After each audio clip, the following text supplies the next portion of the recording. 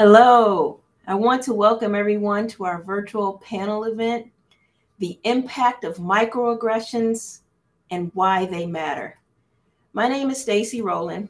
I am the Assistant Professor of Business Administration at Daemen College, and I will be your moderator today. Thank you all for joining us for the 16th in our ongoing series of live virtual panel events to discuss meaningful topics like this. We welcome those who are joining us, and thanks go out to our sponsor, the graduate program at Daemen College, for inspiring this event and allowing these conversations. So, we do have a wonderful panel today, and right now I'd like to give the opportunity for each one of them to introduce themselves, identify their roles and titles so that those of you who are watching we'll get to, to see a little bit or hear a little bit more information about them. So the first one we're going to start with is Erin Carmen. Hey everyone, um, I'm an assistant professor in the social work and sociology department um, teaching the uh, MSW program, and the bulk of my work is is centered around um, addressing systems of oppression from a macro lens in the social work Okay, thank you, Erin. Next, we'll start with uh, Daniel Nielsen. Hello, everyone. My name is Daniel Diaz Nilsson. My pronouns are he, him, el, and uh, I serve as the director for the Office of Diversity Outreach and Development uh, at Kent State University. Um, and my daily work um, centers around diversity, equity, inclusion, and of course, belonging. And so I'm really excited to, to be here with y'all, and I hope you all learn something. Thank you, Daniel. Next, we have Sarah Frank. Hi, everyone. Um, my name is Sarah Frank. My pronouns are she, her, ea. I am the Director of Residence Life at SUNY Geneseo. I'm very excited to be here today. Most of my work focuses on residence life, but I'm also a member of the President's Commission on Diversity and Community, uh, advancing cultural competency and bias prevention response at our campus right down the road. Thank you. Uh, thank you, Sarah. Uh, and then next we have Isaac Williams.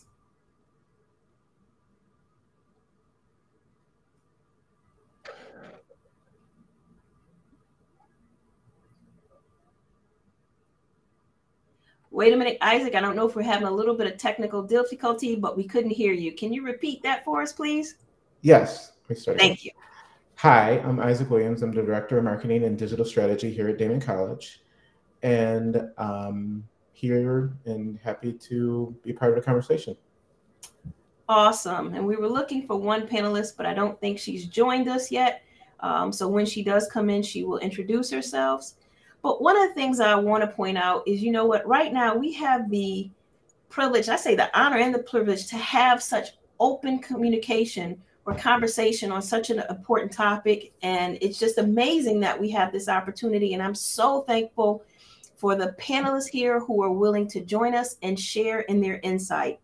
Understand that all the views that are expressed here are those of the panelists, and we welcome each other's insight. And of course, we respect uh, their personal thoughts. And those of you who are listening in or watching us on YouTube, we ask that you respect um, respect their thoughts too. So thank you for having this conversation with us, and we're going to get started. So, first, we're going to begin with Daniel. And Daniel, I'm just going to ask you to give a definition of microaggressions. Sure, thank you. So, so microaggressions, um, uh, we've been hearing this this term uh, lately, um, and, and, some people are like, "I think I know what it means." If I break it down, I, I, I, I it makes sense, perhaps. Um, and so, really, the the definition of, of microaggressions is that they're subtle messages, sometimes and often they're subconscious, uh, where um, you know behaviors or, or, looks or gestures or tones where uh, it devalues, discourages, and and, and really um, can create um, uh, uh, harm. And if you look at the idea of microaggressions, micro meaning small, and it doesn't mean they're small. There just means they might be brief. Um, and as far as the con context of the, the relationship or the, the the interaction between folks. Um, and then the aggression piece is again not it doesn't sometimes people feel like that means I'm being really forward or or, or um, uh, harmful, but it's really the harm. It's the harm that comes from uh, the interaction that you're having, right? Um, and so uh, we also wanted to kind of give uh, the history of the term microaggressions, right?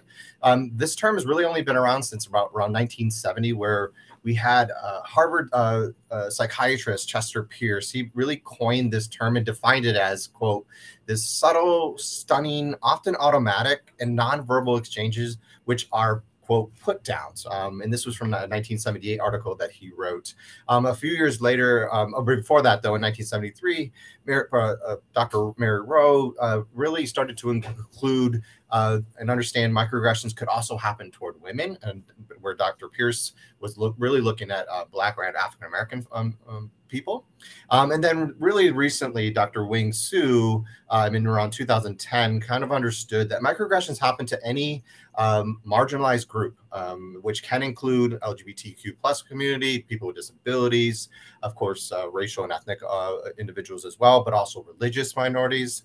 Um, and one interesting point, and I'll, I'll pass it back to you, Stacy, is like in 2017, the, the term microaggressions actually just finally made it to the Webster's dictionary. Now, most of us would have the dictionary uh, electronically, but for those who might get it in hand. Um, it's only been there since 2017. So um, again, microaggressions are definitely things that we all have felt. Um, it's just now kind of understanding the the context. And then actually, sorry, real quick, there's they, they come in three forms. There's this idea of micro assault, which are blatant, deliberate, uh, conscious, and really explicit um, forms of, of microaggressions. Some people might I suppose call this as like old fashioned racism, um, mm. where the, the, the, feel again it just feels like oh I know that they're not uh, liking me because of a certain identity I may have. Um, then there's micro insults, um, and then there's micro invalidations, where really you're nullifying the thoughts and feelings of people um, uh, by either your language again or your behavior. So um, hopefully that helps kind of frame our conversation today to think about it uh, um, as far as what microaggressions are. Okay, thank you, Daniel. It, it, it's interesting. You said it, it you know, it, it, was just really recognized in the dictionary of in 2017. But you know, when I just take a moment to think back, it's always been there. You know, it's something that's always existed. Um, and I go, is it just we've never put a term to it, and now it's coming to the forefront with all the changes that we're seeing in society. So, you know, thank you very much. Uh, you know, I want to just change and, and ask Sarah a quick question. Sarah, could you discuss how microaggressions truly impact the community and, more importantly, impact the hearts of people? Thanks, Stacy. Sure. And, and thanks, Daniel. Um, you know, things only are identified, right, once they're identified. And I think, yeah, I really like what you said, Dan, uh, about um, the the term only being added later and Stacy, how you expanded upon it. It just it's unnerving. Um, but things only happen if and change if if people make them right. Um, so they have a tremendous impact on community. If we think about community as a united force, um, and we think about civic engagement, and we think about people coming together, microaggressions cause tiny tears in what ought to be those bands, right? That bring us together. And like paper cuts they're quick, they're shocking, they're unexpected and painful. Um, they're considered often, like Dan said, uh, too insignificant, right? Like not everyone notices them; they're subtle. Um, and I like to say they're too insignificant for stitches. Often, um, we quickly shake them off, and we use a little antiseptic. We move on at first, but after that thousandth one, right? It's like death by a thousand paper cuts, and people wonder why folks from underrepresented backgrounds are screaming for change, you know, in our communities. Because um, after all, they're just paper cuts, right? Um, but a thousand paper cuts will cause a person to bleed to death and break the thickest binding of unity um, and tear a community to shreds. Um, and they happen to people that we care about most. So for me, in my mind, they cause a stirring, right? They also are burning within people to ignite change again it's in the in the dictionary now. It took a little bit of time right? Um but i've seen students on my campus in particular at suny geneseo in so much pain. I've seen them at other institutions i worked at. I've seen my colleagues in pain. Um, i've seen their heartbreak um, and watched them completely withdraw and myself too. But on the other hand, I've seen tremendous surges of strength and connection develop that's led to actions and changes for improvements. Um, micro people that experience microaggressions, and you know, because again, the individuals together make up a community, they feel like others. You know, they don't feel a part of the community. That's how it impacts it. They're afraid, angry, threatened, exhausted, confused. Um, they think they're wrong. They're ashamed of being a part of the group they're in and then they're proud of that right? Um they feel less than singled out fetishized like they're the problem like they're the spokesperson. Um and that really impacts the community right? Um they feel alone invisible hurt shocked like they don't belong. And that's sort of where we're at right now with that language around belonging. Um personally um they've given me both a pause and a push um they prevented me and empowered me. They put me in the spotlight and put me into darkness. Um, and the impact is measurable and immeasurable. Um, but I think it's something that we need to think about, you know, as our communities, um, as we want them to come together and continue, we need to really think about how it impacts their heart, how it impacts the core of what they're doing and and the meaning behind um, microaggressions, whether it was intended or not, um, they matter and they can really break the binds. But hopefully, from that, we can teach and learn and grow to rebuild.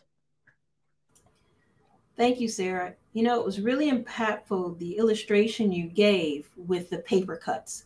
Because when I think of a paper cut, it can be so subtle, sometimes you don't even recognize it, but it really can hurt. And think about the duration of time it hurts. It's not just that moment, but you know, as it's trying to heal, you you bang it, you you you know, you stop it. Sometimes you cut it again, and it's almost something that just kind of reignites.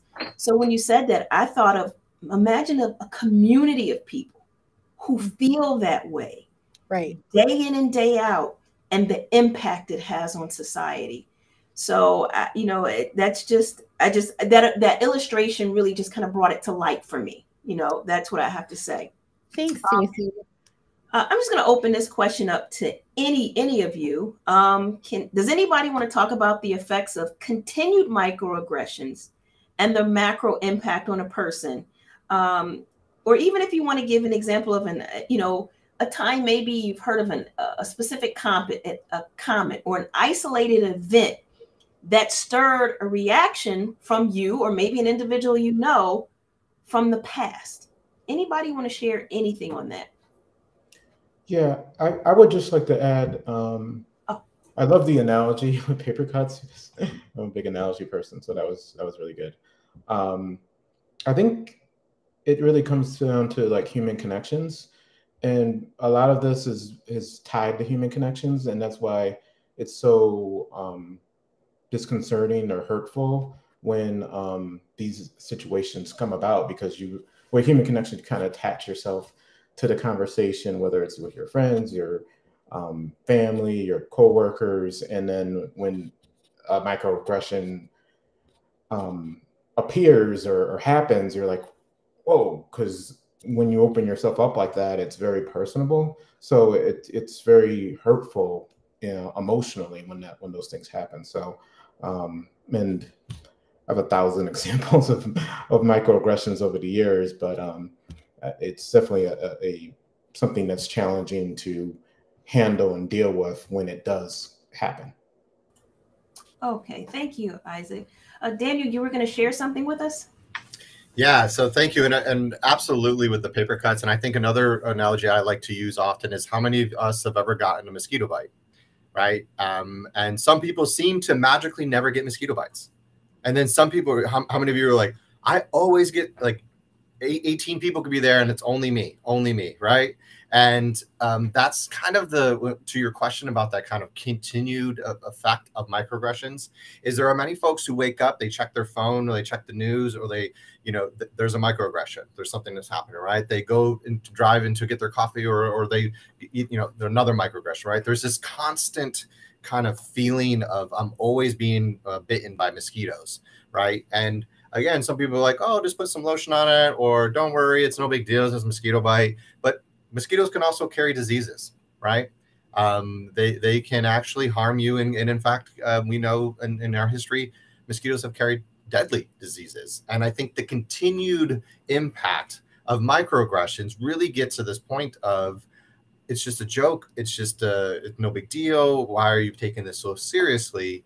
But as, as Sarah said, the thousandth paper cut or the, the millionth mosquito bite, all of a sudden the reaction is is now so on the skin and, and rage and, and this other things that that could be the difference of interacting with you know certain parts of our community the police and social workers and hospitals where that that reaction although to the person receiving it is like that's not a, the person feeling it absolutely is is is impacted in such a dramatic and, and constant way. So i think that's how some of the the experiences can can keep going. Because i think too microaggressions are so built into our language and how we speak and things we say. And um, you know so there's so many things that we can say. And i'll, I'll, I'll talk share later about what, maybe an example that i have um, where it happened to me. But i i, I think uh, uh, that's where I, when when I heard sarah and isaac kind of was like whoa that this is that that continued impact of just i'm, I'm i don't want to get stung anymore i agree and I, I think that's why we're having this conversation today and making people more aware because you know, we can't necessarily see the feelings inside someone. You know, we can mask those day to day, but we can't necessarily see what's inside. So I think the more we uh, educate people and allow them to be aware of it, that maybe you can start to pay attention to well, what am I saying? You know, and sometimes we can see it just in a shift in body language, so subtle, but to recognize, ooh, something changed here, something happened. So I, am loving the fact that we're having this conversation today. So thank you both uh, for adding to that. Um, right now, I'm going to shift over to Erin. And Erin, can you explain the impact of microaggressions from an organizational policy level? Sure. So, so we tend to think about microaggressions on that interpersonal level, um, but they're part of maintaining and creating systemic oppression as well. Um, you know, we have implicit and explicit biases that we sometimes act out in the form of microaggressions. Um, and policy and culture can create or normalize these microaggressions and impact various facets of organizational life um, and life, you know, societally um, as a result of, of how we live in relation to social policy. Um, so it's people that make policy, right? And so the thoughts and beliefs and feelings that fuel interpersonal behavior um, may manifest in the creation of oppressive policies.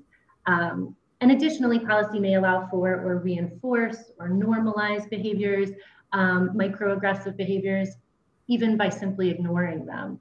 Um, and I think, as Sarah said, you know, intent doesn't have to exist for culture and policy to do these things, to normalize or reinforce oppressive behaviors. Um, and so as a result of this, policy and culture can sustain or may sustain or grow environments in which individual and collective behavior is oppressive. Um, so this can show up um, in relation to organizational philosophy. So for example, um, colorblind philosophies or those that ignore difference in other ways through language, you know, just an as an example that discusses, uh, let's say, treating everyone the same. Um, so this kind of language um, you know, just as it's important in our, you know, interpersonal interactions, it's important in relation to policy because these, and, and philosophy and culture, um, because these things frame uh, and lay a foundation for how we, we interact with, with each other in groups and organizations. Um, you know, language such as treating everyone the same uh, sustains a myth of meritocracy, it denies difference, um, and then it impacts as a result people um, intra and interpersonally. Um, this shows up in recruitment, um, you know, through uh, denial of isms and phobias. Um, for example, it's not, you know, it's not uncommon to say, let's say, um, we don't have Black clinical social workers because there are not enough qualified Black candidates. Um, you know, this is uh, that this is a common way of ignoring an ism or a phobia um, in relation to recruitment. Um, shows up in performance appraisal systems, um, and that can impact who gets promoted and who doesn't.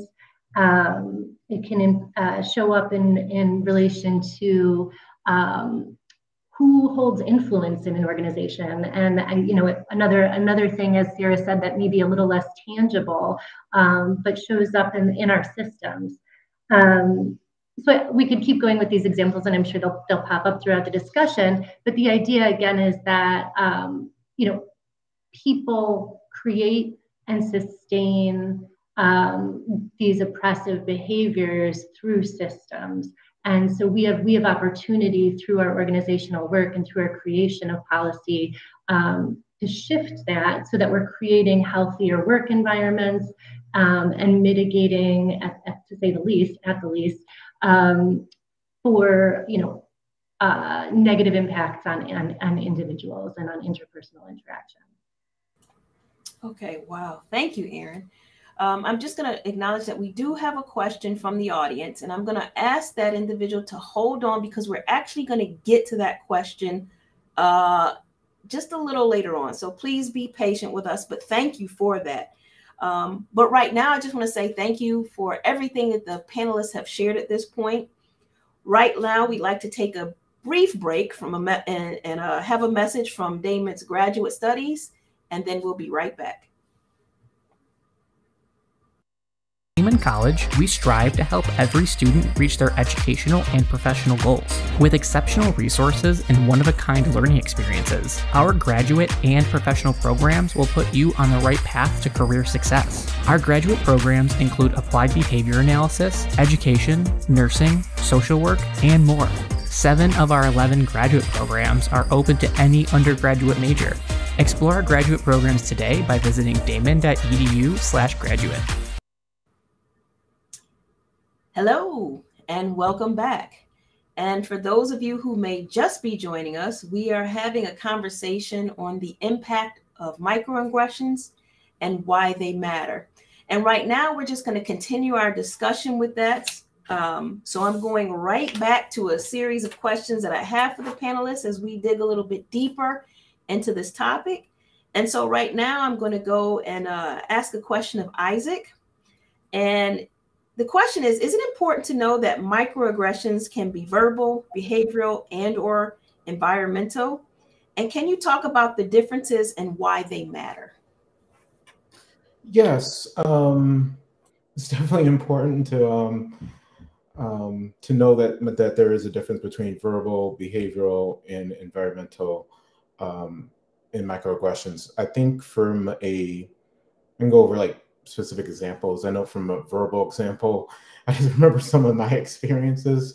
Um, I remember being younger, and, and I'm not going to name the TV show, but there, there was an assumption that I watched a certain television show just because of the way I looked, and um, it was uh, it was offensive. I for me because I'm like I actually did watch that show because I liked the show, but I thought it was um, why did you assume that? And I immediately recoiled on, on, on hearing that. So it was it was very it was very much hurtful to um, be assumed that I was in some kind of silo just because of the way I looked. Um, from a behavioral standpoint, a lot of times it just comes down to um, understanding in inclusion and understanding that if you're not involved in specific things that you know other people might be involved in or and then you're excluded from a an, a, an aspect of of a minority it's it's hurtful. It's kind of like what did i do wrong? Like what's wrong with me? And you really go inward on your your issues and then you start beating up yourself that it's your fault. Um most people would not know that, but that's something that you have to deal with uh, um, when you look different than the normal society, um, but or just society in general, what what people consider normal, but which isn't normal. Everybody, no matter what you look like, is is normal. Um, and another thing is um, environmental. Environmental is a is a big aspect in regards to going back to that whole um, human piece. And I think a lot of issues are involved with just how people have perceived the world over time and just how maybe you you were raised. And a lot of times people don't even know they're doing microaggressions. Um, and it's not just from an aspect of one group to another. Like i've done microaggressions on other groups and didn't know i did that. That happens and a lot of times it comes with age and experience and for me i have to peel back sometimes and um, i think daniel was saying uh, something about pausing um, I do that a lot. Sometimes I think, think myself, wait, what are you saying? Does this make sense? You have to kind of understand that because I grew up in the 80s and the 90s and it was a lot different than now. So I do give people leeway in what they say or how they interact with me or other people. But on the same token, as we try to evolve as a society and people, we have to really have an understanding of what are we saying? What are we doing? And peel it back and take a pause and think about is this, how does this affect everybody? Um, but that's hard for some people. Some people don't want to do that. Some people just want to just live their lives the way they want to live it and they'll deal with the consequences after. And I think that is the big challenge that we have with a topic like this um, as we move forward. I agree. It's something you were saying, you know, when you look at the environment and and the fact is is that like you said the way we were raised and the things that we were taught from you know your parents and your grandparents and those generations will carry uh, i was in i was teaching a class just yesterday and we were looking at a video called the class divide and and one of the students picked up and said it's interesting the parent taught the child or told the child that wasn't a good neighborhood. And that's all you heard the child say. The child never investigated the neighborhood. The child never asked any questions. But the fact is, all they knew was that's not a bad, you know, that's a bad neighborhood. And then how do we take those things in and perceive them? And then I always say, and turn them around and spit them back out at people. You know what I mean? So it, it, it's interesting. I like the fact that we do need to pause. We do need to think about what we're saying before we say that and what the impact could be. So thank you, thank you very much. Um, uh, I think I, Daniel, this was a question I had for you. Uh, can you talk about any microaggressions you have experienced in your life and how did you respond to them? Yeah, I can, but if I could, I, um, Sarah, did you want to add something to the previous comment just so before I, I go into my examples? Sure. I I know that you're going to be talking about the individual, Daniel, but uh, struck something struck me about what Isaac said when you were talking about the environment, and it was more of a personal example. So I know you're going to be doing that, but I'll offer this quickly. Um, I just one little statement. I never know when I walk into an environment, a new place, what people see when they see me. And that really gives me a lot of pause. And so if we think about the impact um, that the environment might have, you know, based on past experiences, etc., and microaggressions that I may have felt, I never know what they're going to see when they first see me. When I walk into a store, a classroom, a bar, a bank, um, when I walk in front of a staff for the first time, an interview here, I don't know how I'm going to be received. And I think that comes from deep seated challenges um, and regarding identity, but also environments that I've been in. Um, will I be black enough, white enough, Latina enough? Um, is my will they notice my hair being straight or curly? Like, is someone going to comment on that? Um, so I, just I was struck by what Isaac said and, and that question, and I just wanted to share that that those things really impact identity and identity development and uh, the way a person you know moves through the world right. thanks for that moment dan yeah and it's interesting you can't just walk in and be you imagine how much our mind just takes off and starts to have these preconceived notions already so wow that was that was powerful sarah i'm sorry dan i cut in ahead of you go right ahead now no i wanted i wanted to make sure i, I the space was given to, to that comment because I think that's really important to think about too. um, uh, and to Isaac's point about the pausing, we don't often unpack some of the things in our language that we are saying. So when you, Stacy, mentioned about that, that's not a good school. That's a, that's a bad neighborhood. What does that really mean? I know that, and actually, I'll, I'll give that as an example environmentally uh, perhaps that I experienced. So when my my partner and I were looking to buy a house, and, and I forgot to mention that I live in uh, Akron, Ohio, uh, and, and of course work at Kent State University currently, and uh, we were looking to buy a home and near the area when I moved actually from out of state. I was from Georgia, and um, the realtor kept saying, "Well, are do you have kids? and all that?" And we're like, mm, you know, at the time, no, and all this stuff. And they're like well okay well but if you do that's not a good neighborhood and and or because of this that school's not that good. And and now little did they know that i work in dei i, I do this for a living and i'm absolutely comfortable challenging folks on what do you mean by when you say good bad that's it's whatever? Um, and as we further interrogated then finally i said you mean that that's a black school mostly black school? Or do you mean that not everybody there is comes from a, a, a two parent uh, cisgender heterosexual relationship? Um, and they're they kind of like oh what, what, do you what do you mean? And i'm like well what do you mean? And, and that to that point right? And so that's a time I, have had um, where people ha- have shared uh, that. Um, and i want to share a quick story about another time where i felt where I had an opportunity, and I didn't know this was microaggressions. I didn't know I was combating them. Um, it was actually a, um, a, a, I'm a, a graduate of University of Buffalo, so so uh, uh, horns up, right? Um, and I was an orientation leader, and there were incoming students that kept saying things like, "Oh, um, this is so gay," uh, "Oh, that's so gay," right? And, and and they were referring to in the context things that they either didn't like or things that were bad. And so what I did, and and I, and I tried to flip the term, and this was a way for me to approach it was every time they said I said, "Oh, do you mean that's so jock?" And I was a student athlete and all that, so I, I understood what that meant by taking on that that stereotype, right? Um, and I, they're like, "No, what do you mean? I mean that's okay." And I'm like, and I we did this back and forth, and finally they said to me, "Why do you keep doing that?" And I said, "Why do you?" And it opened up the conversation to start to say again back to uh, and i said this before about language intent versus impact.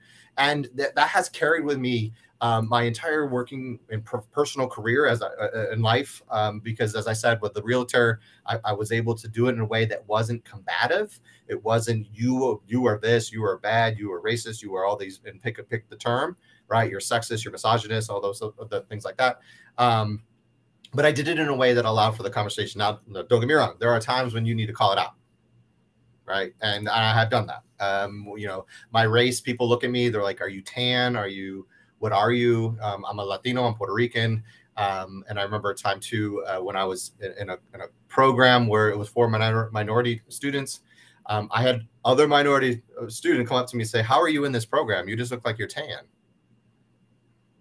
And so so I, I say that to say that it's not just certain types of folks who how they identify that they might do microaggressions and isaac was perfect about that and later i can share another uh, example of um, where i microaggress against people while doing a training on microaggressions that was awesome and uh, definitely a humbling experience but that those are a couple examples that i have shared um, or, or, or have experienced that um, are personal and really in nature Thank you. Those are those are really good examples. And and the one thing I like is, you know, you didn't come back, you didn't attack, you just asked the question. It's kind of like you just questioned their questioning, um, and force them to think about.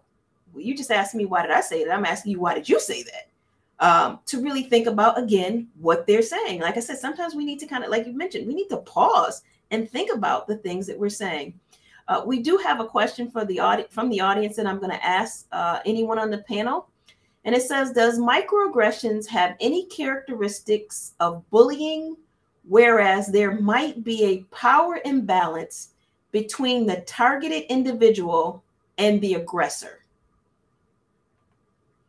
Anyone have any thoughts on that? Um, I can I can say yes.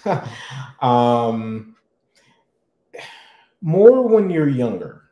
Um, definitely high school, college, yes. Um, and that's a danger thing for me in regards to when that stuff does happen um, because it's such a young age it becomes in bind it into your brain. And it really sticks for years on end. And it's very dangerous.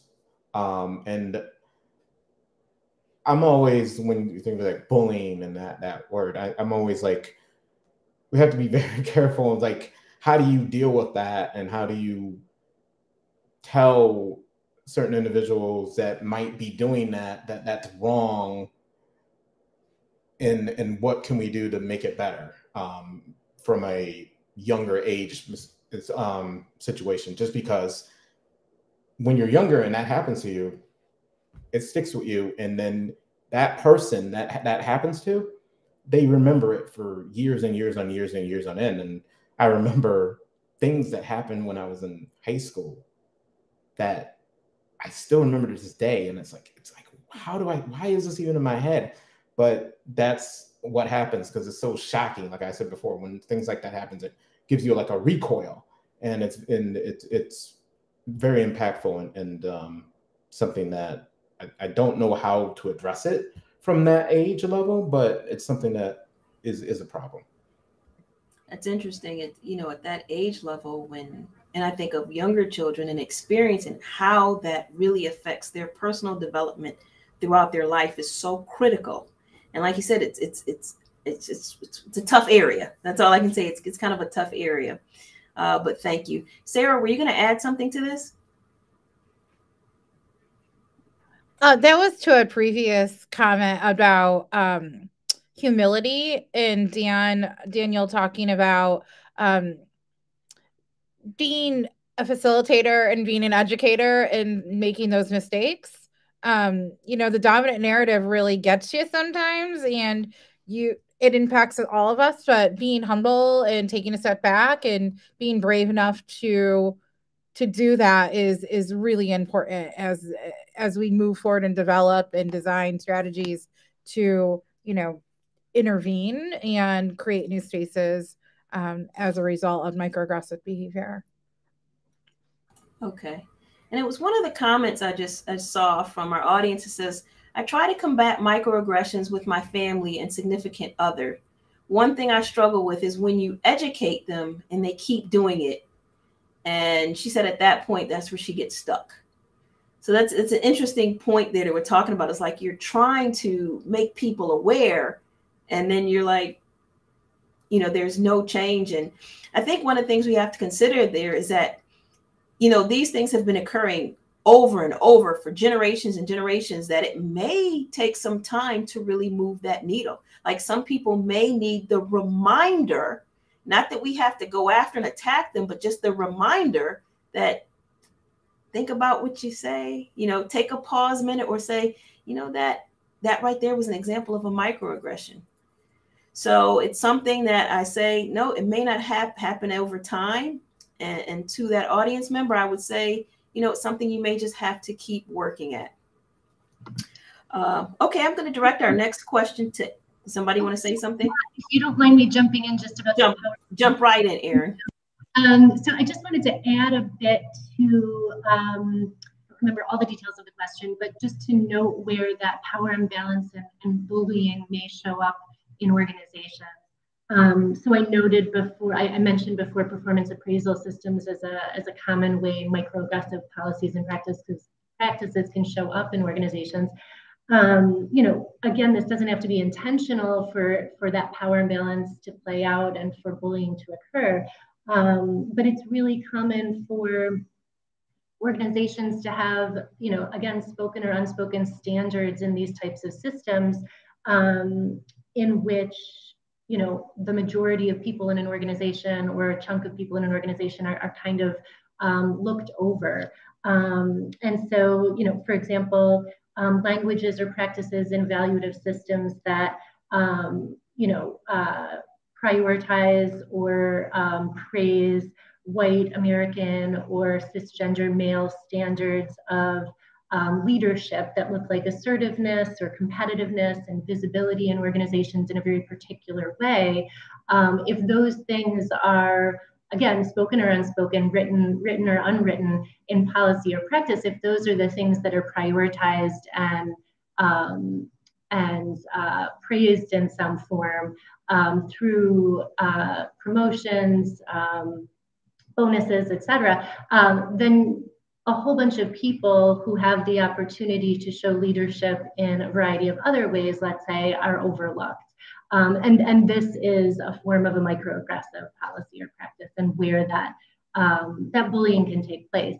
Uh, similarly, when it comes to that, uh, those cultures of influence that I noted before, you know, who holds influence in an organization um, to sway, uh, to sway change, um, to establish something, um, or to create something.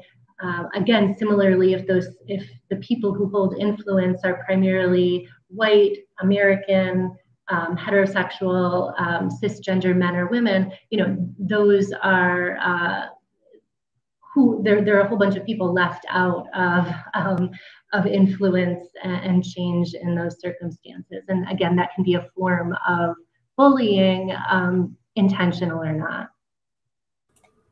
Okay, thank you, Erin. Isaac, were you going to jump in with something?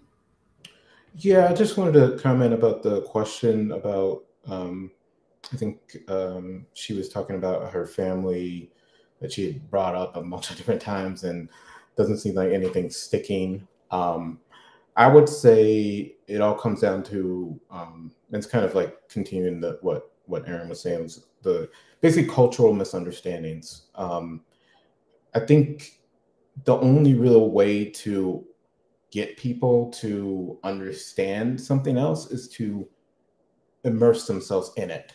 And that can come in a bunch of different forms. Um, it can come in regards to what you're comfortable with, because what does that does that mean?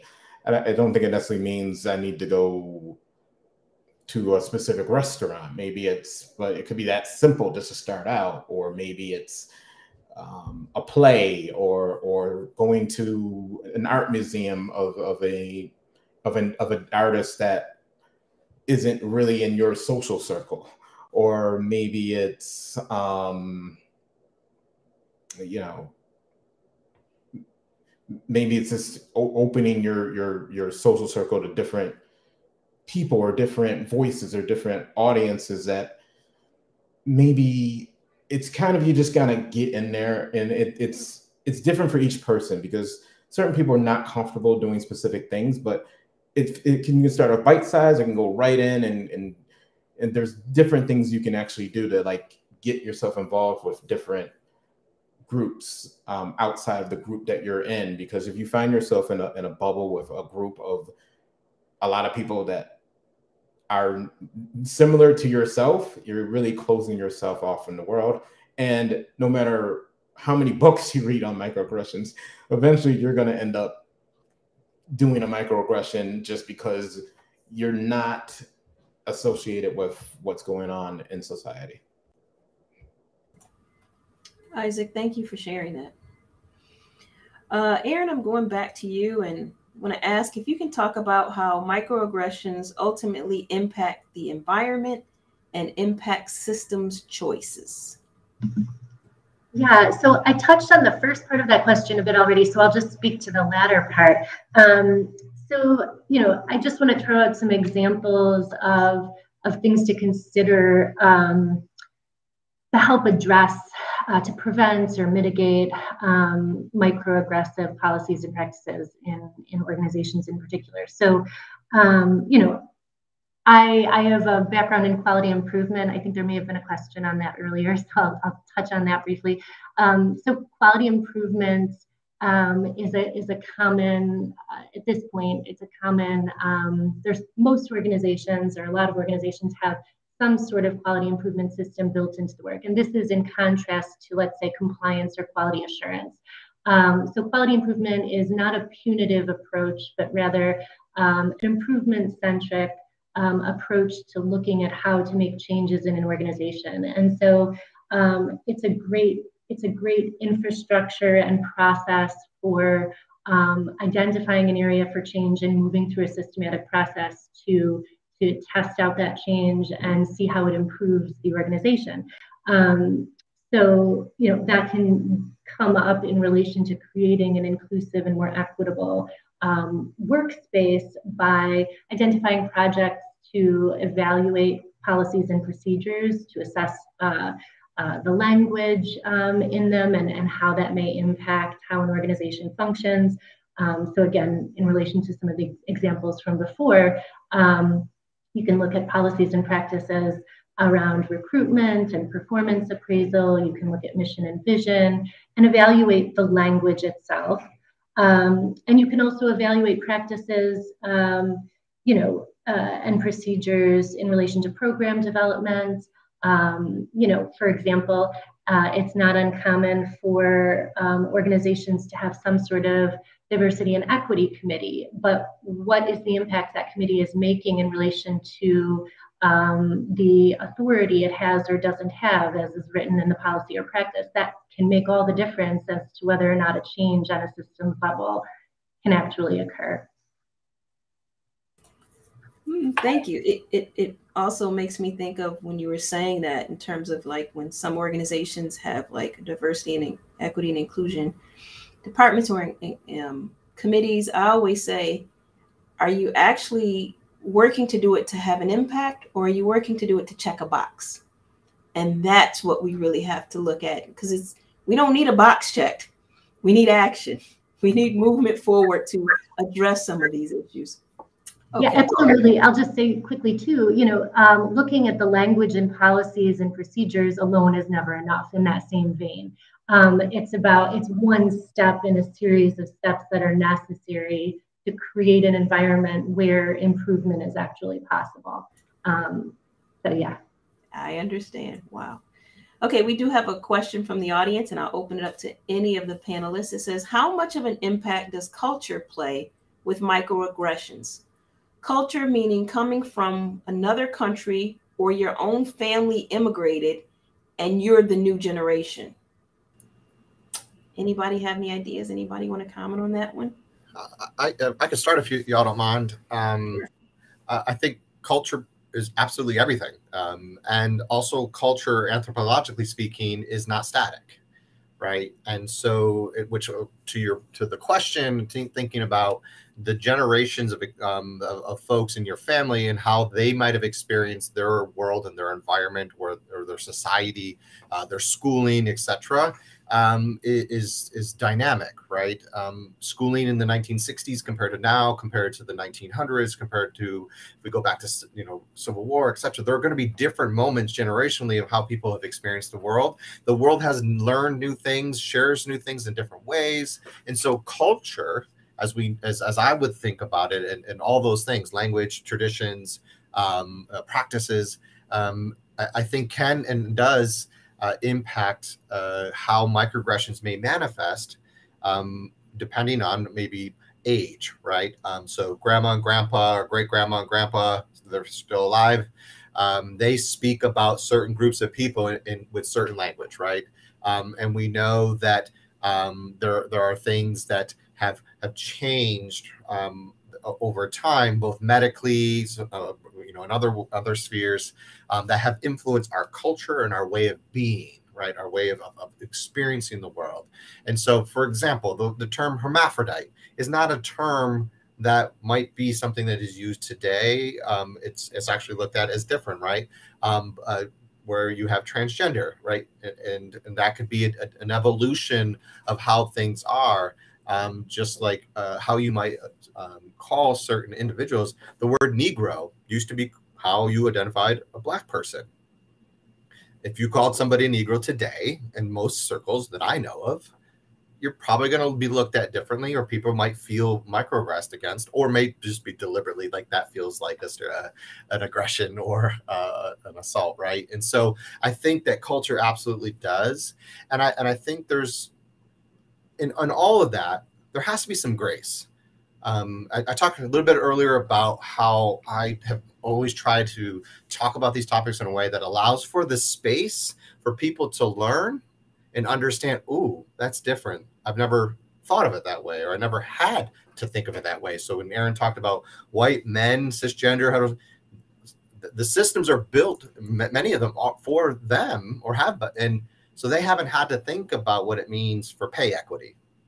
They just get paid, right? And it, why would I think about that? And so there's again, that's a culture. That's all culture. And I know that's a longer answer, but I think there's when we think about how we maybe talk within our own families, right? Um, that could also be to the last question when it was like my family member doesn't, you know, uh, listen. I think often how might you then, if you care about them and you know you're not going to get rid of them or they're not going to be gone, how do you help make it personal to them so they can maybe see it from a different angle? Right? Um, how do you center it in their children? How do you center it into the things they care about to start to think about ways that you can maybe say, you know, this is not how we should be proceeding anymore because culturally it's not appropriate. Wow, thank you, Daniel. Um, we have another question, but then I also have another question uh, that I was geared towards Sarah, and I think we can kind of bring them together. So, Sarah, what I was going to ask you about is we know it's very important, and we need to provide meaningful education to, you can think of colleagues, friends, and family so that they notice microaggressions when they happen. And so I'm looking at how can we educate them in this way? How can that be accomplished? and what ways can compassion help? But I'm also going to put out there, which was a, a question that came from the panel, because they said, what are the impact of microaggressions in the workplace? And what, if anything, should be done about microaggressions in the workplace? So I'm thinking we can kind of bridge those two together. And I know I'm directing it at Sarah, but also once she gives a comment, anybody else that wants to add to it would be great. Thanks, Stacy. Um, and yeah, I, I can try to to reach that, but I welcome my fellow panelists to jump in. Um, I feel really confident with that. Um, DEIB or diversity, equity, inclusion, and belonging. Um, it's a priority, right? Um, and it's everyone's responsibility, and everyone should be about that fight, right? But how do we do it? It's hard.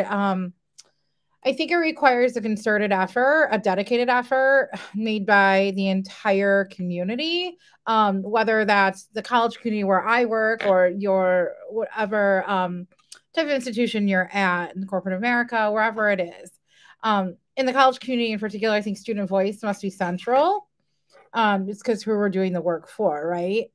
Uh, faculty and staff must be part of the plan, and the work must be done consistently and ongoing um, scaffolded with compassion, and it should include pe- include people who have experienced microaggressions historically and presently. Um, and we must add for, ask for feedback constantly along the way and be brave enough to hear those responses. Um, I think it starts with the mission and, and vision and values of the institution. Uh, employees need to know where their institution stands on DEIB and microaggression um, and bias in general. Um, mission and values must include that language. It must be demonstrated as a priority. There must be a priority as well on action and movement. Human resources, department leaders, supervisors, uh, et cetera, cabinet um, must provide ongoing training and development and must be a part of the um, onboarding curriculum, if you will, at an institution.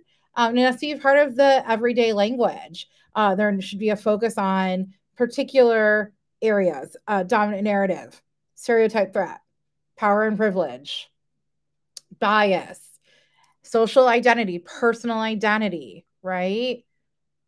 Peers must be willing to intervene. I really think that that's important. I know it's hard though. Um, I think we need to lead with both our heads and our hearts Compassion and empathy will pave the bridge to unity and to understanding because microaggressions at their core, right, they impact the heart of people. So having compassion for one another um, and ourselves promotes a willingness to learn. At Geneseo in particular, um, we have a few a few different programs, if you will, big P programs that uh, focus on DEIB um, one, we just shifted our value of inclusion to belonging. That was something we did part of our vision. Um, but advancing cultural competency um, is a certificate program that was designed by our CDO, Ravi Rautenberg, and our professor of psychology, Dr. Monica Schneider. A few of us are facilitators of that program. We have intergroup dialogue. Um, and advancing cultural competency in particular was designed to empower people, our peers, um, our colleagues, um, with cross cultural knowledge, understanding tools, etc. Um, the idea is to develop self awareness, uh, transform personal um, and professional environments on our campus to be more inclusive or to help people feel like they belong. Uh, they're culturally supportive um, departments, uh, classrooms. Um, and the idea is that will impact cultural climate across the campus. We also have something called BIPR, Bias Prevention and Response. Uh, we focus on bias intervention, um, education uh, when bias occurs. And then we also have the President's Commission on Diversity and Community. Um, and oh, on our annual diversity summit, what I think needs to happen in the workplace is there needs to be an opportunity for people to interact, and that needs to be encouraged. At the core, um, folks need to have an understanding. I like what Daniel talked about when he said um, you have to have grace. Um, we have to have grace with one another if we're going to repair the hurt that microaggressions cause. We need to have patience. We need to take a pause. Um, I do think that things should be done about microaggressions in the workplace. Um, intervention strategies, restorative justice. But I think some of my colleagues want to add. So I could go on and on. Um, I will stop. Anybody want to add to it or um, share? I, I I just like to add. Um, for me, the some of the biggest problems with in I'm working in an institution now, but even before that, I worked several years in in, in businesses and, in small businesses in, in the area. And um, one of the big issues is that not listening, just assuming, just I read something or I talked to this one person. I got this. We're going to do this and this now, but not actually listening to people that it impacts. You actually, I don't have all the answers, but either nobody does. But if you're not listening and understanding what are people, what what is actually impactful to that group, and a lot of that just due to age, like it's different from when I grew up. I can admit that. I don't know every single thing in regards to microaggressions or or what impacts or what hurts what particular group. So I, I would just say you just gotta listen. And from there, like um, piggybacking what Sarah said, then we can build out what exactly we can frame around that that will impact that particular group because the fact is even it even goes down to an institution. What would work at Daemen may not work at yale or may not work at stanford. It's very very different. So i think um, it comes down to listening basically. Okay thank you very much. Anybody else want to add to that one? No? I just wanted to check because you know the both of you did a very good job of just you know explaining of, of and and I I know that Daniel kind of mentioned that awareness, knowledge, and skills. If you were to put it in just three simple words, you know what I mean. And then I think on the end of it, like you said, Sarah, we got to add grace um, because it's not going to happen just automatically or instantaneously. Uh, Daniel, I have another question for you, which is going to link to the question that was previously asked. And my question is What role does validating the experience of others play in moving the microaggression dialogue forward. But I also wanted to link it to our earlier question from our audience member who said, How do you determine micro, microaggressions versus naivety? And when you feel that responsibility to enlighten? And how do you balance intermittent aggressions with your pursuit of success? Wow, Stacy. Um, That's a mouthful, right? That was that was, that was a lot. Um, so you know, uh, start uh, with the first one. Yeah, that's right. Well, well, well, do this. I think um, Sarah introduced the, the concept of, of DEI and then the, the B letter that has been popping up more recently, um, and belonging, right? And so people are like, well, wait, I thought DEI was enough, right? I, I, think, you know, we think about diversity, we think about awareness, understanding the difference, right? We think of equity, we think of how do we uh, alter, change, dismantle systems that um, have disadvantaged certain folks. Erin talked earlier about uh, uh, women faculty versus male faculty, right? Same level, same experience, all the things, right? There's there's certain ways where even though, um, and then the the inclusion is okay, fine. The, um, let me pull a chair up to the table, the proverbial table we all like to sit at, right? Um, but being at the table and not being listened to, to what Isaac mentioned, doesn't mean that you're belonging. That, that it, that's not belonging. Belonging is actually being heard, and then actually things happening from that. Not oh, thank you for your story. Okay, let's just keep moving, right? Uh, because that's a microaggression and validating somebody's experience as eh, that's not really what we're talking about is actually missing the point we are talking about the experiences of, of all of us, right? And um, as we continue to become more diverse, we need to uh, continue to be more equitable, not equal.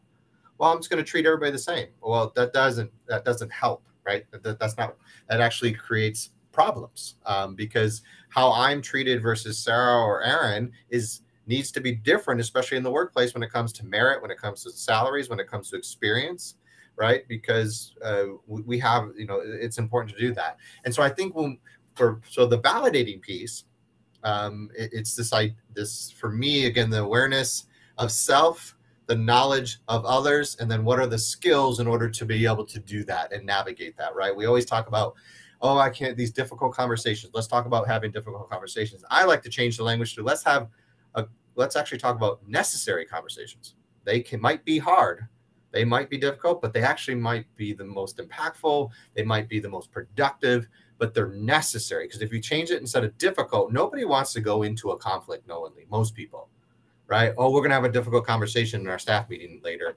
Are you ready, Stacy? You're gonna. Oh, wait. Uh, you you ready to?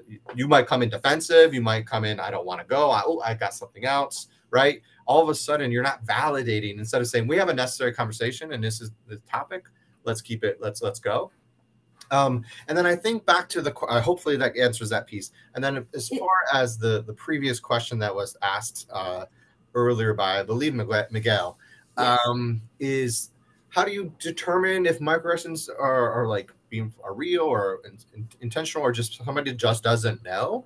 Um, that's where the grace piece comes in. Um, I mm-hmm. think one of the ways that you can respond to microaggressions, and, and these are ways you can be like, "Ooh, when something happens. Like if I say, Sarah, that was a really smart comment for a, a woman to make. right? That was you got some. I see the females and the uh, smiling because they probably heard that comment many times, right? Um, and you know, somebody might be Isaac might be like, ooh, and and it diverts our attention enough to old uh, that space and grace to say, yeah, Daniel, that wasn't that wasn't what we're gonna do. And then I have the opportunity to say, I'm sorry, and then stop there and I'm sorry and not give reasons why.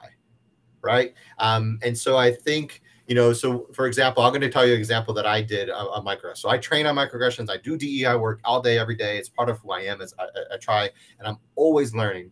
I often used to say, and this is could be environmentally or geographically sometimes how you um, introduce or say hello to a group of people can be different. Sometimes it's you guys, y'all, right? Um, hey guys, things like that. I used to say, hey guys, I'm from Western New York. And um, I would do trainings like, hey guys, it's we're time to do this training. And a faculty member said, can you please stop doing that? I'm, I'm not a guy. Like, please stop gendering me in that in that space. I'm sorry. I'll be better. Next session, I'm doing another training about something else. Hey guys, did it again she came to me again. She came to me again. And then, and finally, like it took me a while. Now, I'm not being naive. I know what I'm doing.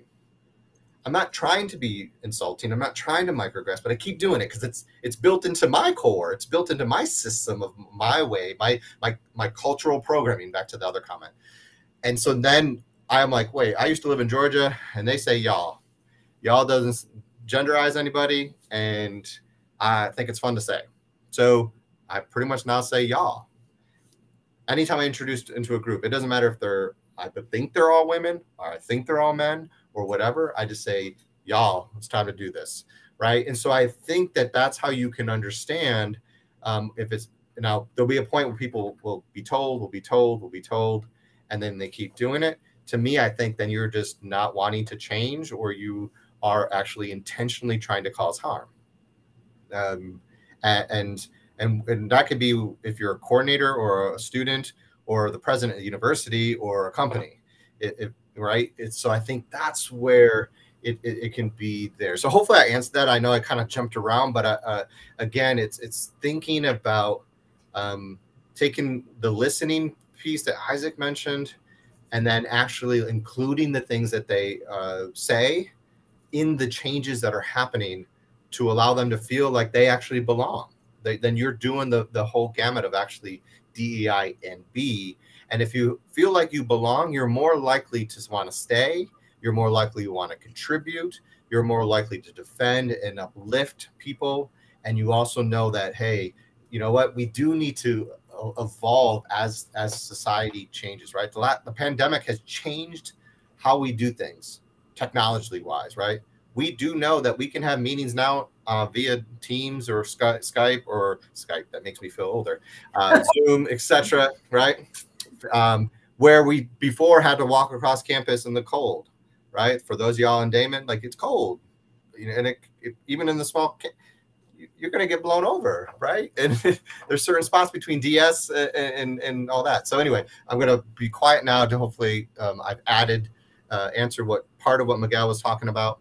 Um, because if I think if you do that and you validate and people feel like belong, the success, the pursuit of success is more real realized or more able because of that. Whereas if you don't, it, it, it stalls and or rolls us back to times we don't want to be part of or shouldn't be. Okay, thank you, Dane. I just, you know, I looked at Miguel's question again and it says, How do you determine microaggression versus someone being naive? And in my mind, I said, Does it really matter? You know what I mean? Does it does it really matter if it was a microaggression or if somebody was just naive and, and doesn't know? At that point, should we just recognize that maybe that person needs to be informed, maybe that person needs to be educated, maybe that person just needs to be aware. I, I was just thinking about it and said, I don't really think we have to decipher was it this or this. It's a matter of it's something that needs to be addressed. Can I jump in real quick? Go right ahead. I I like what you said, Stacy, and and I agree. It it needs to be addressed. I think you can break it down in the in using the phrase intent versus impact um the intent you know i the intent could have been from a, a place of naivete um or it could have been intent you know it could have been something you know direct and and and, and meant to be um but regardless of what that was it's the impact it's how the other person's receiving it. That's what matters. And and so i just wanted to expand upon that. Um i think it's really important as we navigate this territory and we work with students and colleagues and and, and others that we think about how our actions are impacting them. You know what influences are we are we having in other people's lives? Because that really really matters um, the intent in the end uh, it, it doesn't I mean, we have to have grace we need to be thoughtful and if we're you know counseling and attending supervising um, or if you really want to build an external relationship, yes, that intention, those are things we can discuss and continue to uh, work through. But in the moment, it's that impact. That's what matters.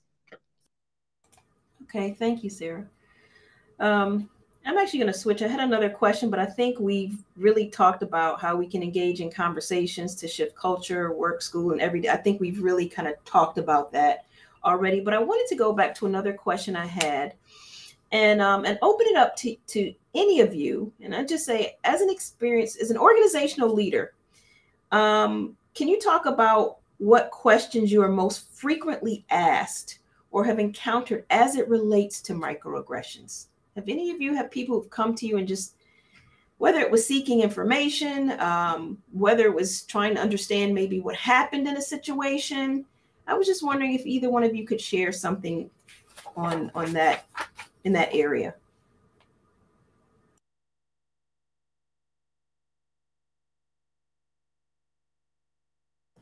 Um, I can I can say that I was sitting here trying to think of if that actually happened, but I guess that's a good question in regards to no, I, not off the top of my head, but how do you feel comfortable approaching that?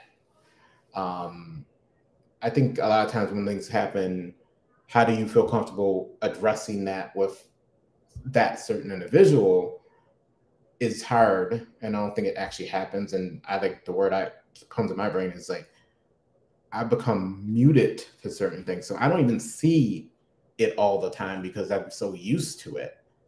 But how do you address something even if you feel that way and let alone get to a point where you feel comfortable talking to someone else about it so i think that's a challenge um, i think that's the next evolution of of how you deal with this but um, i don't have any specific example at least on the top of my head right this moment. Okay. I, I mean when i thought about the question i'm thinking you know with uh it even sounded like something that could potentially go to the HR department, depending on what was said or or, or the situation um, that may have come about. Um, because I don't know if anybody will come right out and say, at this point, can you tell me is this a microaggression, or how do I recognize one? Um, I don't know if we're there yet, but it was interesting. I, I was just looking at something that was in the chat, and uh, an individual said, "I work where guys call women honey." as they couldn't remember their names. And it just of all, and I'm just this was just an example. And I thought that was such a very simplistic example of something that can have a huge impact.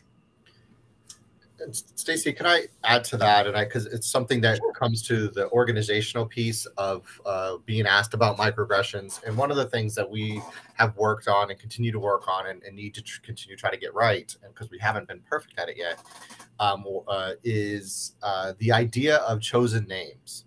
And, and so I think to Jackie's point about being called, now there are again some cultural, geographic ways in which people refer to people in, as a form and in their mind a form of endearment right? And not necessarily trying to be negative or or anything like that. But one of the things we're doing at, at, a, at the university level is chosen name. It but some people may hear it as preferred name right? We hear preferred what are your preferred pronouns? And like I, I like to take the word preferred out because i prefer my coffee black. Some people prefer it with lots of sugar right? That's a preference um, but my like, and then my name, for example, is something that's my chosen name. Um, my chosen name is matched and does match my legal name. My legal name is Daniel, and and some people that's not the case, right? Um, and so, and and I will also say the evolution, right? So I have some friends on this, um, not only at Daemen, uh, but even on this panel that have knew me when I did not go by Daniel, right? I, I went by Dan or Danny. That was that was my nick, you know, names I was referred to, and I go by Daniel now. And even today, you might have heard some say Daniel and some say Dan. And um, to me, again, I there's moments where again there's grace, and there's moments where I'm like, um, I don't have to have everything be a teachable moment, but I do have faculty and staff come to me and ask me about, is this a microaggression? How should I approach this lesson? Um, things like that. And I think that's the nature of my job um, and, and my role uh, and how people have seen me because of the things I do, uh, both on campus and of course externally.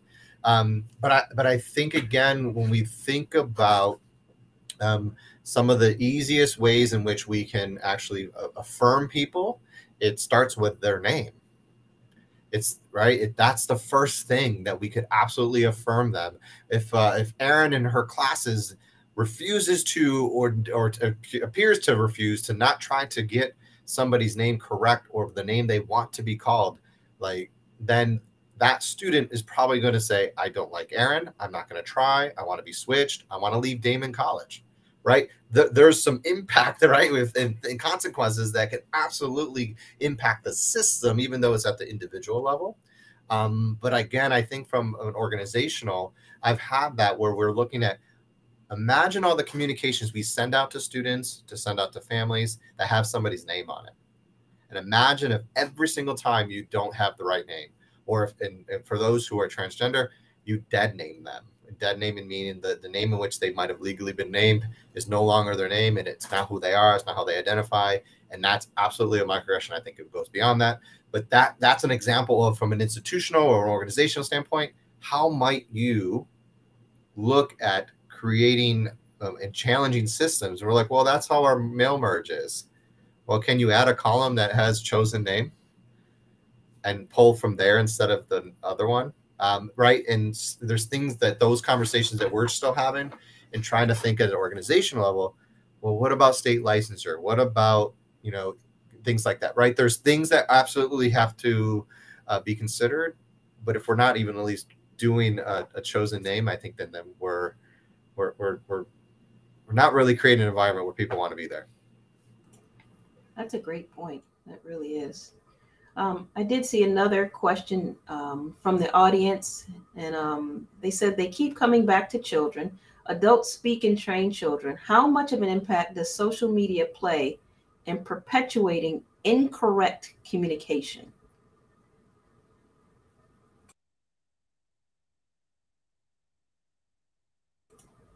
Anybody, any thoughts on that one? I think social media right now is how uh, a lot of our young people are being educated. Um, there's a lot of information, you know, out there that's false and hurtful, and there's some that's, you know, helpful. There's a lot that I learn about what our students are doing um, via social media. I think it can perpetuate harm. So, if we're speaking about children, and particularly young children, I think it's an opportunity to figure out what they're watching, what they're listening to, and having open dialogue.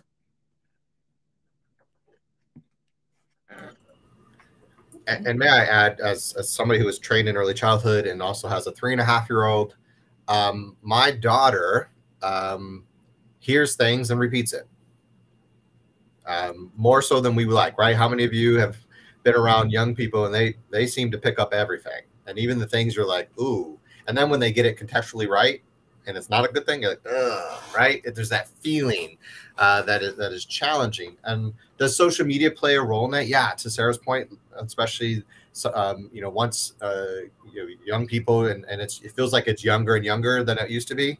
But you know, so young people used to be like maybe high school, but now it's in even middle school where kids have access to social media, or it's it's more prevalent. Um, or parents and family members have it open and around them. I mean, I'm on my Instagram a lot, and the sounds and the songs and things that come out of my phone, my, my daughter hears. And is it all appropriate, age appropriate? Probably not. Um, so I think there's a the idea of sometimes we have to continue to be un, unlearn some of the things. I, like the, the old adage that I've you always heard, you can't teach an old dog new tricks. Well, um, I don't know if that's entirely true. I think you can continue to try to, you know, reprogram, just like all of us get, you know, educated differently. I didn't meet same-sex couples until I was in college. Like I wasn't because where I grew up, who lived around me, it wasn't talked about. If it was, it wasn't positive, right? And and to me, no, now though, that's not something that is.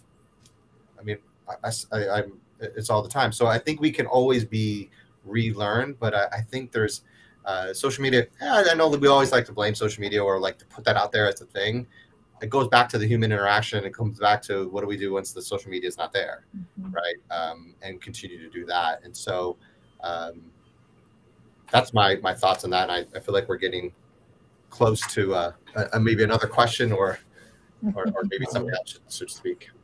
I don't. Did any, we do? Oh, go ahead. I just wanted to say it's social media for me is like the gift and the curse.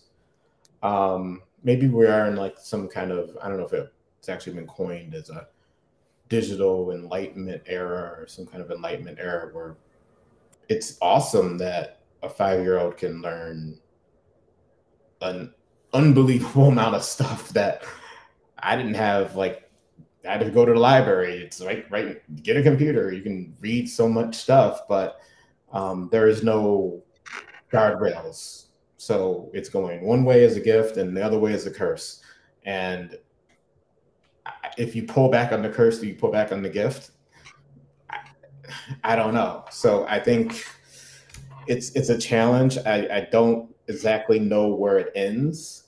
Um, and I guess that's a scary part. I think we're all still on this social media ride, so to speak, and where where we're going to go with it, I don't know. And that's fun, but it's also very scary because it it does cause some problems in in in in regards to biases and stuff like that. So I don't know. it's a whole other panel. exactly. Um, we did have one more question that I was going to pose to everyone, and it was what does microaggression look like for the bystanders? What does microaggression look like for the bystanders? I think I, I just want to jump in really quick. Uh, Daniel, when when he made the faux comment uh, about uh, women, and that was a smart comment, I think, for a woman, a smart response. I, I think he described it. Uh, you know, it's perfectly what happened. And I think the people who identify as women on the panel, you might have all seen us smile or like go, ooh, right? Ooh. I, I think that's an opportunity. Uh, well, one, you just saw what uh, what that looks like for the bystander, right? Um,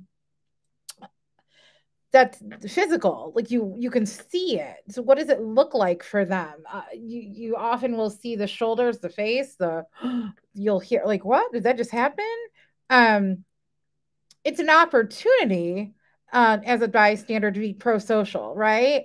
To intervene. Uh and there's another question i saw in the in in the in the chat box about um not ex- uh, expectations of others. Um I I as a value of mine, I, I try not to have expectations on others because I can get disappointed, right? Um, some people really will intervene, um, and that is that is part of their makeup. It's an opportunity to be pro-social in that moment, and if you see something, say something.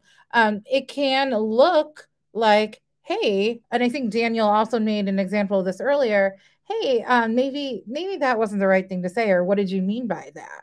It's an opportunity certainly to uh, make an impact in a positive way to turn the conversation around. Um, but it it can create um, you know discomfort for certain. It could stop a, an event um, it can uh, turn the event into something else Well, Yeah, and if I could real quick uh, add is the the idea of, if you're just being a bystander, then you're just observing and watching and you're doing nothing. And the idea of being an active bystander and, and you can do things in order uh, to uh, earlier we talked about bullying and I and I think I'd like to add the word about privilege, right? Um, because sometimes you might not even notice or hear it, or maybe you did, but it, you didn't know it impacted the person because it didn't impact you, right? Um, the comment I made that Sarah uh, just highlighted, if, if that was said out loud, now today I'm responding and saying something like, "Bro, now we ain't, that's not how we talk."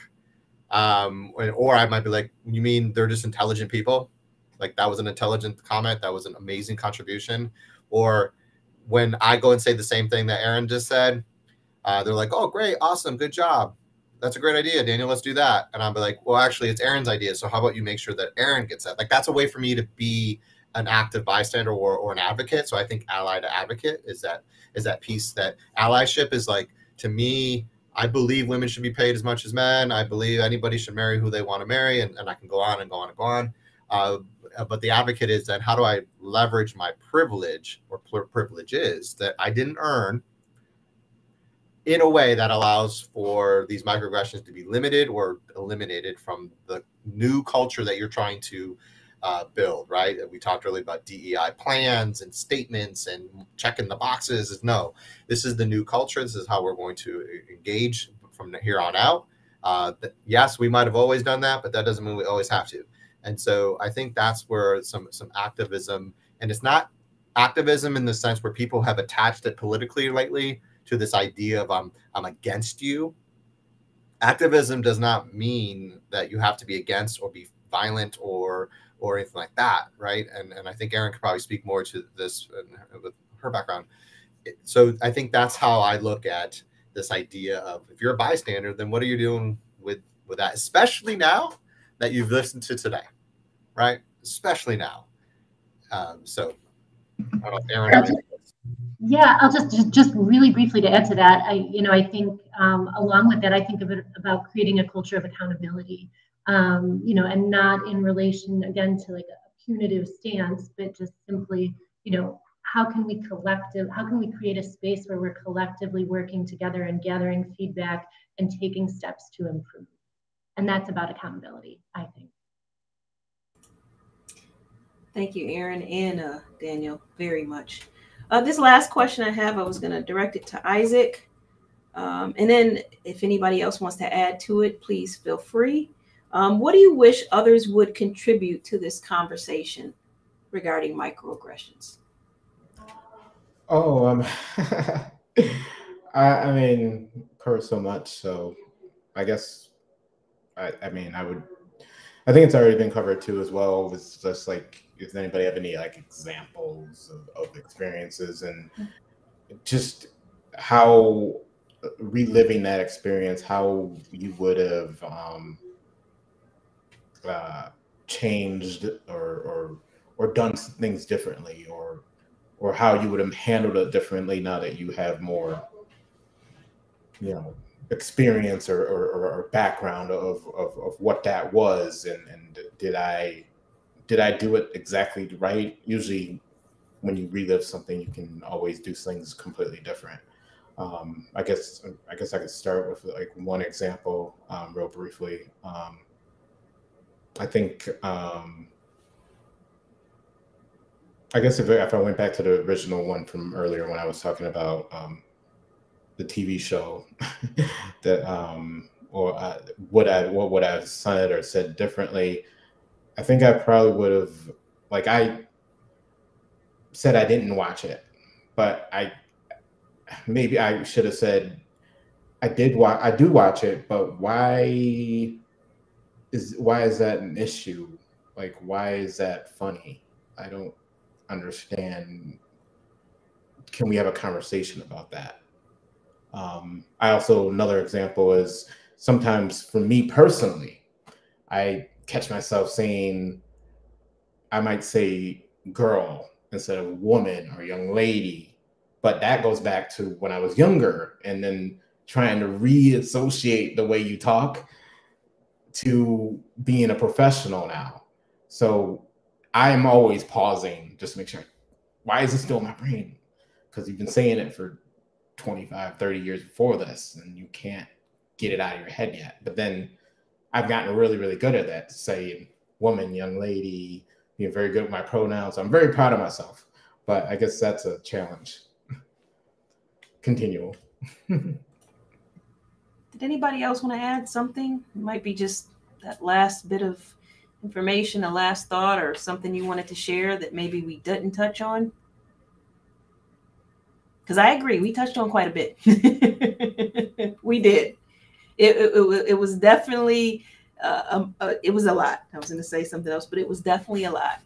And I think there's a lot of information that was shared. Um, you know, there was an awareness here. There was this. This was just a very rich conversation and I'm hoping that people are going to walk away uh, with uh, you know the beginning of trying to shift that mindset, or maybe to get that that little bit of let more education or more awareness, or even if it's just they walk away with, let me pause before I speak. Stacy, if I could, I think what uh, way I uh, would probably affirm that is the idea of individual agency what can I mm-hmm. do in my own sphere with my own people I feel comfortable with, whether that's family, colleagues, friends, co-workers, etc., and then collectively begin to build awareness and knowledge. And then that way the skills together doesn't seem like it's all one person's job. It's not the DEI person's job to do all this work, right? It, it's not the chief diversity officer to do all this work. Um, it, it's not the director of this or what it is all of our jobs to make sure that we can mm-hmm. continue to build the environment the culture, the society, so individual, collective, where the change can happen to allow us to actually make a difference and know that we will never always get it right. And that is okay as long as we're always trying to get it right. I think when we stop, that's when we have issues. That's where we go further apart. Um, and that's where it makes it difficult to be your true, authentic self. Mm-hmm. Thank you very, very much for that, Daniel. Um, if no one has anything else, I just want to thank each and every one of you, Sarah, Daniel, Erin, Isaac, um, for all your contributions, just for sharing. And, and I even say, you know, um, we're in a society that in order to share some of this, we also have to be vulnerable too, right? We have to be willing to, to open up and, and be honest with ourselves as well as others. So I thank you so much for that. Um, I thank give thanks to everyone um, who made this panel possible. Our sponsor, the graduate programs at Daemen. Um, for more information at Daemen, you can go to www.daemen.edu. Um, and I just want to let everybody know keep your eyes open for more uh, interactive virtual events coming soon. And you can see those or get the updates on those by looking at our social media channels. We got Facebook, Instagram, Twitter, LinkedIn. We got them all. so thank you so much to the panelists. Thank you so much to our sponsors. And thank you so much to our audience uh, for a wonderful time here. Thank you, everyone. Stay well. Be well, everyone. Daemen College, we strive to help every student reach their educational and professional goals. With exceptional resources and one of a kind learning experiences, our graduate and professional programs will put you on the right path to career success. Our graduate programs include applied behavior analysis, education, nursing, social work, and more. Seven of our 11 graduate programs are open to any under